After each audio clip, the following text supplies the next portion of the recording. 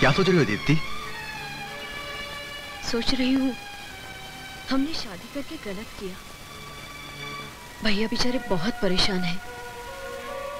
और जब से उन्हें पता चला कि मैं माँ बनने वाली हूँ तब से और भी परेशान हो गए हैं। बस जल्दी से जल्दी फेरे लगवाने के लिए पैसों के बंदोबस्त में लगे हुए हैं। रिश्ता जानकर जब वो घबराया हुआ परशुराम के पास पहुँचा तो अनर्थ हो गया सेठ जी। क्या हो गया नथु देवेंद्र ने जिस आदमी को मारने की सुपारी ली है वही आदमी उसका होने वाला बहनोई है। होने वाला है हुआ तो नहीं ना। लेकिन अभी जो होने जा रहा है वो बहुत ज़रूरी है। ये ले। ये पैसे ले दारू पी और सो जा जा। नहीं सेठ जी मैं ये पाप नहीं होने दूँगा। मैं देवेंद्र को रोकने जा रहा हूँ। सवाल बहुत पहले मैंने तुमसे किया था। और कहा था, अगर तुम्हारा जवाब सच है तो इस घर में रोशनी रहेगी। वरना ऐसा उजाला होगा कि घर समेत राख हो जाओगे। छोड़ दे मेरे बाप को। वरना इस छोकरी की खोपड़ी में छेद कर दूँगा। चालाकी नहीं।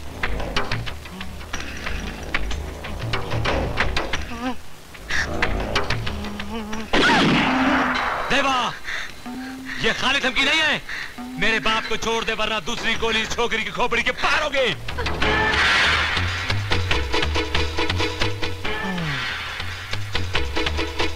खबरदार, अपनी जगह से कोई नहीं हिलेगा।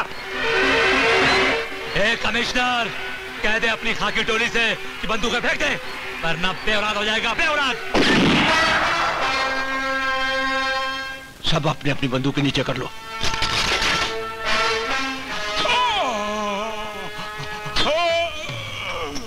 अगर किसी ने जरा सी भी होशियारी की तो मैं गोली चला दूँगा। Come on move move come on dad follow शाबाश बेटे जल्दी कर जल्दी कर बेटे। चला की नहीं?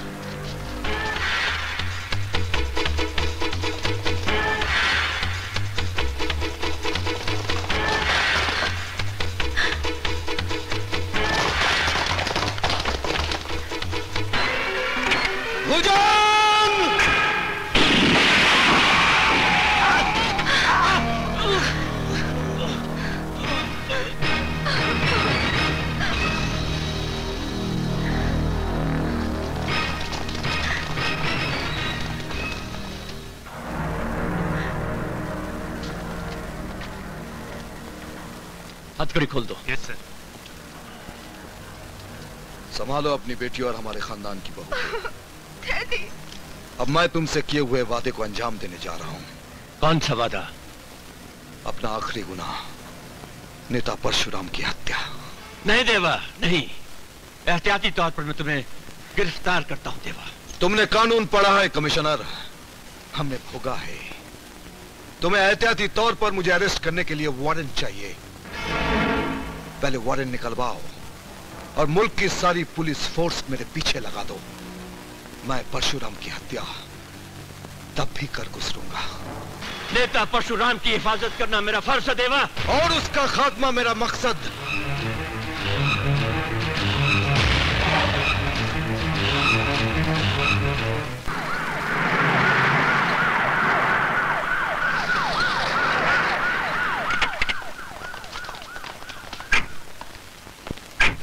बंगले के चारों तरफ़ पोजीशन ले लो। हमला किसी भी पैमाने का हो सकता है। कोई भी संदेहजनक या सस्पिशियस आदमी नज़र आए तो उसे फ़ौरन गिरफ़्तार कर लो। या बेशक उसे गोली मार दो। ओके? Okay sir. ये क्या हो रहा है? आपकी हिफाजत का इंतज़ाम हो रहा है। मेरी हिफाजत? देवा को अपने आखिरी गुनाह की मंजिल मिल चुकी है और वो मंजिल आप है। आपको कत्ल करने के इरादे से वो निकल चुका है। तो फिर मेरी कल की मीटिंग का क्या होगा?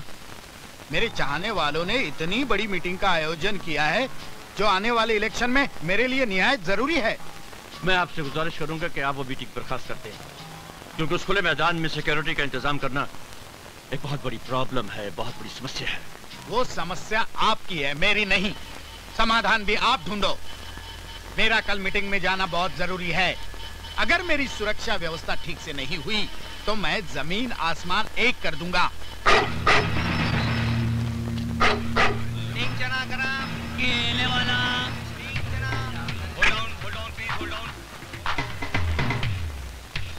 हरे की तलाशी लो चाहे वो कोई भी हो understand okay sir don't spare anybody at all क्या है? सर नेताजी के सिक्योरिटी गार्ड आपसे बात करना चाहते हैं। उनसे कहो हमारे ऑर्डर्स का इंतज़ार करें।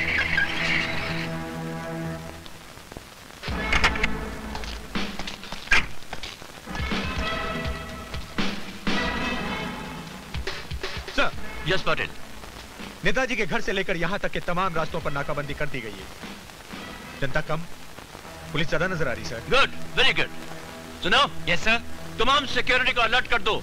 और नेताजी को भी खबर कर दो कि वो आप बेखौफ अपनी मीटिंग में आ सकते हैं। ओके सर इतनी टाइट सिक्योरिटी में देवा तो क्या उसका साया तक भी यहाँ नहीं पहुँच सकता।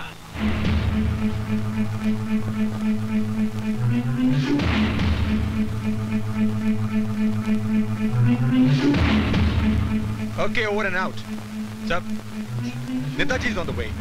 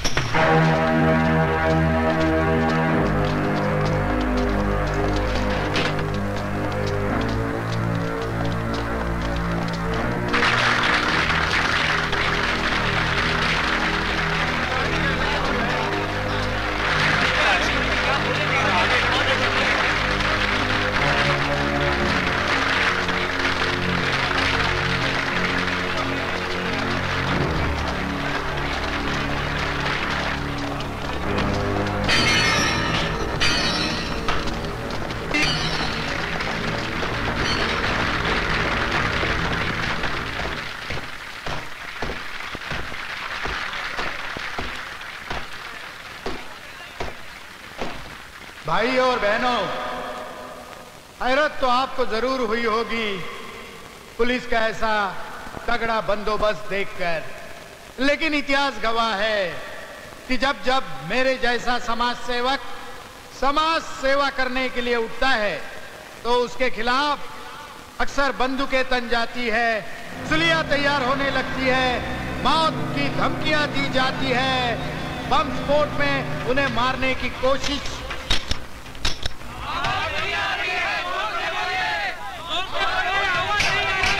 हेलो हेलो हेलो अरे ये क्या हो गया? माइक क्यों बंद हो गया?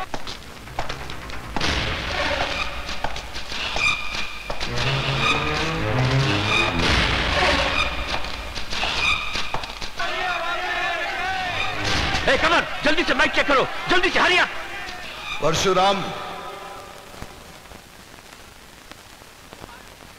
अभी तो सिर्फ़ तुम्हारी आवाज़ गुम हुई है।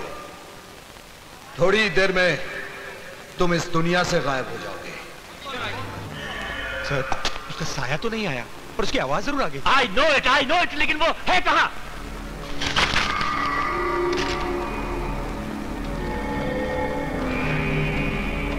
इस वक्त तुम जिस क्लास के अंदर खड़े हो वो बुलेट प्रूफ ज़रूर है लेकिन पत्थर प्रूफ नहीं।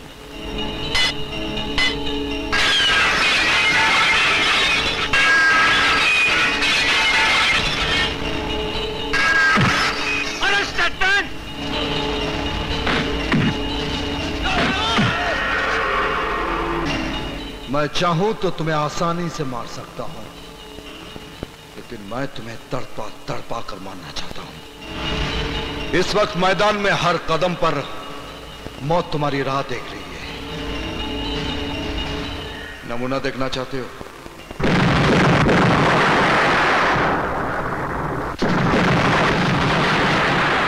बम तुम्हारे स्टेज के नीचे भी है। कमिश्नर! जल्दी से नीचे आओ हरिया!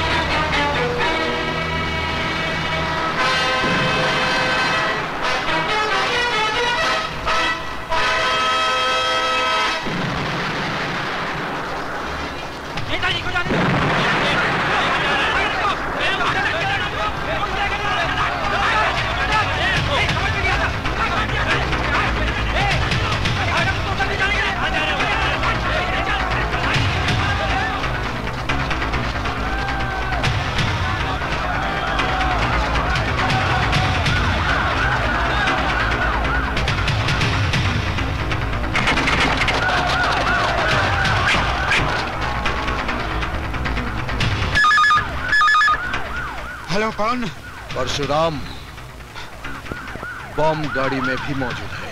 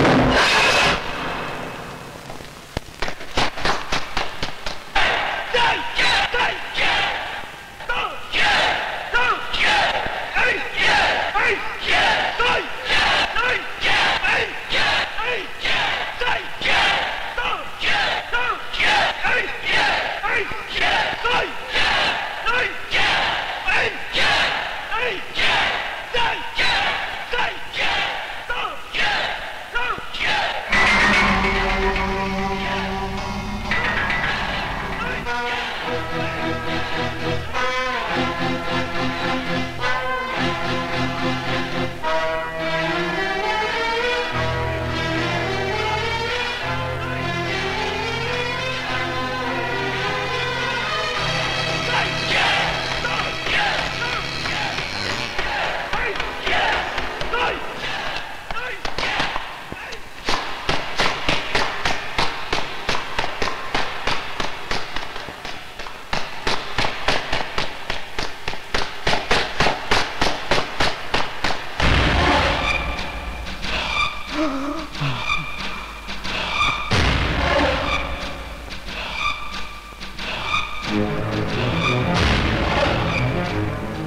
भागने से मौत का वक्त नहीं टलता परशुराम।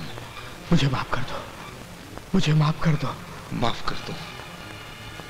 उसे माफ़ कर दो जिसने नथु को मारकर इतना बड़ा अनर्थ करवाया।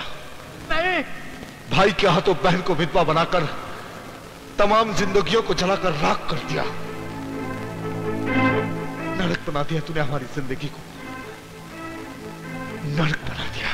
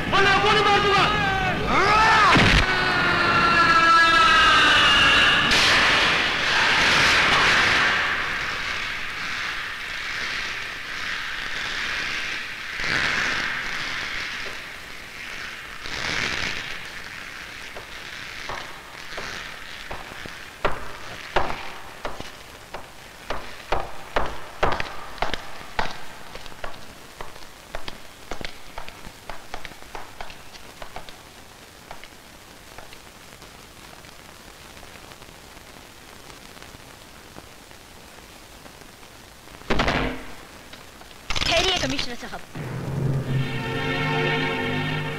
आप हथकड़ी बाद में पहनाइए।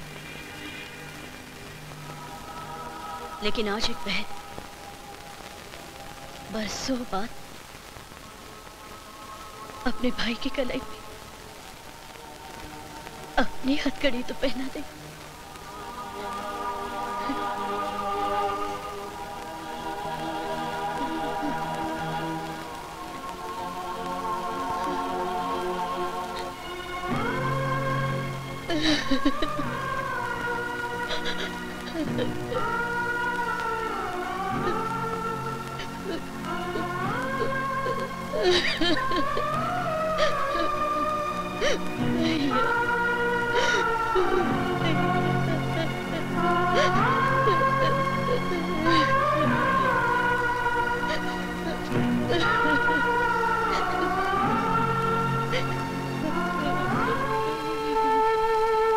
आज तूने फिर से भाई बहन के रिश्ते को जन्म देकर मुझे मुक्ति दे दी बहन।